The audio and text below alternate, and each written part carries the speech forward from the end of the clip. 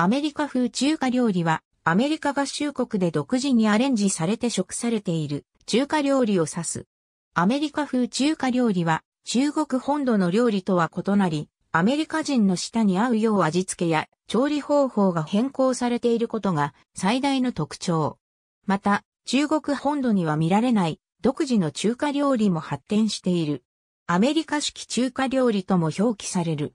19世紀、サンフランシスコの中国人が、主に現地の中国人により支援されることで、洗練された豪華な中国料理店の経営を開始した。一方、小規模都市のレストランは、ポークチョップサンドイッチやアップルパイから豆や卵まで地元の客の需要に応えた料理を提供していた。これらの小規模レストランはよりアメリカ人の下にあった料理へと変更を加えていくことによりアメリカ風中華料理を発展させていった。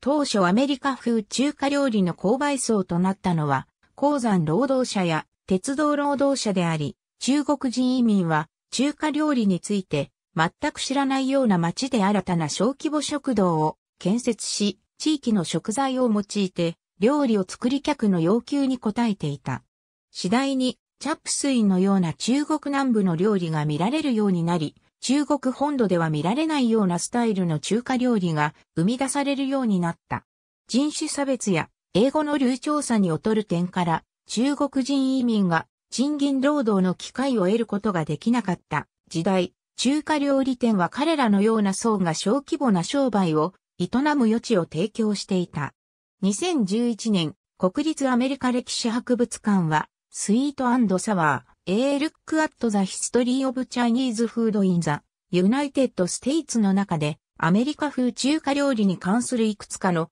歴史的背景や文化芸術面を明らかにした。アメリカ合衆国にあるビュッフェスタイルの中華料理店持ち帰り用やデリバリーの中華料理は通常、オイスターペールという紙の箱に入れられている。アメリカ風中華料理では通常野菜を副菜もしくは付け合わせとして用いるが、伝統的な中国料理では、野菜が主役となることも多い。炒める、揚げるは、アメリカ風中華料理においては、非常に多く用いられる料理技法であり、中華鍋を用いて行われる。アメリカ風中華料理には風味を増すために大量にグルタミン酸ナトリウムが使用されているという噂がある。中華料理店症候群もしくはグルタミン酸ナトリウム症候群とは、MSG に過敏に反応する症状を指すが、MSG とこの症状の関連を否定する研究結果もある。しかし、市場や消費者は多くのレストランに MSG を使用しないよう求めている。アメリカ風中華料理は中国本土にはない食材や中国本土ではほとんど使用することのない食材を頻繁に用いる。例としてアメリカ風中華料理では中国ブロッコリーの代わりに西洋ブロッコリーが用いられる。トマトは新大陸の植物であったため、トマトが中国料理に取り入れられたのは比較的最近である。トマトをベースにしたソースはブフトマトのようなアメリカ風中華料理に見ることができる。アメリカ風中華料理におけるチャーハンもまた作り方が異なり、香り付けのため中国本土のチャーハンではあまり使用しない醤油を多く加えている。天津のような食事スタイルもまた、アメリカ人の好みに合うよう導入されたものである。アメリカ人の味覚に合わせた料理法のアレンジとしては、炒め物に衣をつける、醤油を多く使用するなどがある。炒め物では、白米の代わりに玄米を使用する。また、乳製品はほぼ必ず伝統的な中国料理では、排除されているにもかかわらず、粉チーズを混ぜた米を使用することもある。寿司や刺身を含む日本料理とは、対照的に生もしくは調理していない材料を用いたサラダは、伝統的な中国料理では稀であった。しかし、アメリカ風中華料理店でも高級店を中心に、客の要望に応えて、これらの食材を用いた料理を提供するようになっている。マサチューセッツ州のエールズリーで中華料理店を経営するミンツァイは、アメリカ風中華料理は中国料理を単純化したものであり、アメリカ人に合うよう口当たりが良く、甘く、濃厚な味付けにしてきたと語る。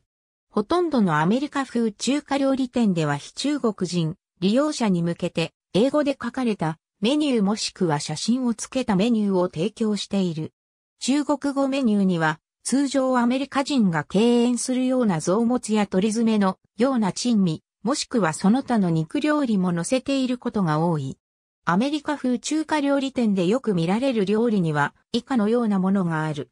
地方のアメリカ風中華料理アメリカ合衆国南部は中国系アメリカ人の人口が多いため南部料理と中華料理が融合した料理が年月を経て形成されてきた。バーボンチキンなどの料理がこれに該当する。ビーフブロッコリー不要炭1990年代前半以降、カリフォルニア料理の影響を受けて多くのアメリカ風中華料理店がサンフランシスコやベエリアに店を構えた。アメリカ風中華料理の代表的な料理はメニューにあるが、この他に新鮮な野菜に重点を置いた料理があり、ベジタリアンに優しい料理となっている。この新しい料理は、マンゴーや熱帯地方で栽培されるマッシュルームといった食材を使用するという特徴がある。また、白米の代わりに玄米もしばしば用いられる。キス肉に使う春餅を小麦粉で作ったトルティーヤで代用するレストランもある。このような現象は一般の中華料理レストランでも起こっている。キス肉で使用するための薄いトルティーヤを販売するメキシコ風パン屋も存在している。キス肉本来の味を追求する人々からは、このような傾向は必ずしも快くは思われていない。一方、サンフランシスコやベエリアには中国人移民や中国系アメリカ人が多数居住しているため、中国本土の中国料理形式を貫くレストランも多く存在している。広東料理、四川料理、湖南料理、北京料理、上海料理、台湾料理、香港料理に特化したレストランがあるほか、魚介料理、香港スタイルの食堂、飲茶店、火鍋レストランなどの専門中華料理店もある。チャイナタウンの多くの地区では、タピオカティー店、小味、精進料理、中国菓子店などの中国食材店が軒を連ねる。チャップスは、サンフランシスコではさほど一般的な料理ではなく、サンフランシスコのチャーメンは、アメリカ中西部のチャーメンとは違いがある。中国語のメニュー名が記された本格的な中華料理店では、大量生産された典型的なアメリカの鶏肉ではなく、キケトリ、イエロー、ヘアチキン、ファンモーケー、イエール式、WHNG ムガーイ、ピンイン、ハウォンムオジー、地鶏のことが食材として使用される。キケトリはその味わいに価値があるが、肉の脂肪分が少なく筋肉質であることから、柔らかい食感を残すために適切に料理することが求められる。この料理は英語で書かれたメニューには通常は記載されていない。豆苗は1990年代前半より人気が出た中国野菜で、現代では英語のメニューでピーシューツとして表示されるだけでなく、非アジア系レストランでもよく使用されている食材となっている。もともとは1年のうち数ヶ月しか使用できない食材であったが、近年では1年中利用可能となっている。ハワイ風中華料理はアメリカ本土とは少し異なる形で発展している。ハワイの民族的な多様性や歴史的経緯により、ハワイの中華料理は異なる文化の伝統料理が融合して出来上がったハワイ料理の一部を形成している。中華料理はハワイのプレートランチの一部としてよく見られる料理である。チャーシュー法をピジン語で豚肉のケーキを意味するマナプアと呼ぶなど料理名も本来の中国名とは異なっており、使用する食材にも独自性が見られる。ユダヤ人と中華料理の関係が述べられる際、クリスマスに関連したステレオタイプのように捉えられている。その始まりは19世紀終わりにユダヤ人と中国人移民が非常に近い区画で暮らしていたローワーイーストサイドにまで遡る。1910年頃、ニューヨークに住む東、ヨーロッパ系ユダヤ人は約100万人おり、当時ニューヨーク全人口の25%以上を占めていた。1880年代以降、中国人移民はカリフォルニアからローアーイーストサイドへと移り住んできており、彼らの多くが飲食産業に従事していた。中華料理を食べるユダヤ人に関する最初の記述は1899年のアメリカンヘブライウィークリーの記事に見られる。記事では、非カーシェールレストランで食事するユダヤ人を批判しており、特に中華料理を名指しで批判している。しかし、ユダヤ人はこれらの食事施設での食事を続けた。1936年、18の中華料理店がロアーイーストサイドのユダヤ人居住地域に開店したことが報じられた。ユダヤ人はこれらのレストランでの食事を当時、流行していたドイツ料理店やイタリア料理店で食事するよりも快適であると感じた。中華料理店を快適だと感じる理由は大部分が中国人移民が先入観を持っていなかったことが大きい。中国人はユダヤ人やその他の移民、少数民族を前提条件なく消費者として受け入れた。ローアーマンハッタンではユダヤ人移民は他のユダヤ人に対して食堂をイタリア人移民は他のイタリア人移民に対してドイツ人移民は他のドイツ人に対してといったように同民族に対してのみ商売を行っていた。中国人は自分の民族料理よりも他の民族料理を食べたいと考えるユダヤ人やイタリア人移民を歓迎した。中華料理店の中国人移民が歓迎してくれることにユダヤ人が安心感を覚えている一方で、彼らは食事とは直接関係のない理由からレストランへと足を運ぶこととなった。ユダヤ人移民やその子供たちがアメリカで出会ったあらゆる人々、食事の中で中国人と中華料理は最も自分たちとかけ離れた、最もユダヤ的でないものであった。しかし、これはユダヤ人にとっては異国情緒漂う料理として、ユダヤ人の大多数は中華料理店で食事をすることを、かつてユダヤ人の間で見られた排他的で傲慢なユダヤ文化の辺境主義を正すための解毒剤として見ている。タックマンとレビンが話した人々の多くが、ユダヤ的でない場所で食事をすることは彼らがいくらか洗練された都会のニューヨーカーであることができることを示していると感じていた。